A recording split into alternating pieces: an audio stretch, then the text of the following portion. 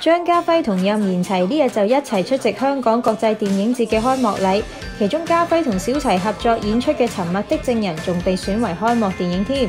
兩位今次相隔十五年再合作，唔知感覺係點嘅呢？今次對我嚟講係一個學習嘅好機會，因為十五年前我哋嘅大事件，我我都不停走，跟住家輝不停追，對戲嘅機會不多。今次我就直接面對面，可以同家輝學咗好多嘢。冇講，我我都好好開心同阿小齊今次合作，咁啊，我哋整個戲都都喺整個拍攝嘅過程，我哋都了解多咗啦。咁啊，小齊近呢幾年嘅啊電影發展又好多元化，咁我見到都係佢開心。多謝。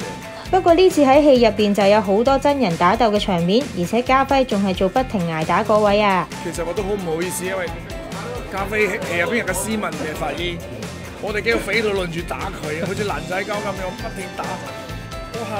一見到就中係嘛？真係啊！加菲又要求好高，因為佢睇 playback 之後，如果唔夠勁，佢都要求嚟多個。嚇！真係，我自己都打得唔好意思啊！真係。唔係因為就係知道，即係自己知道打人嗰個咧，都都其實好大壓力嘅，唔係話俾人打嗰個就一定係話，其實一個動作有冇力都係要靠誒打嗰個有力嘅嘅架啦，俾人打嗰個有力嘅痛啦，咁先至先至出到。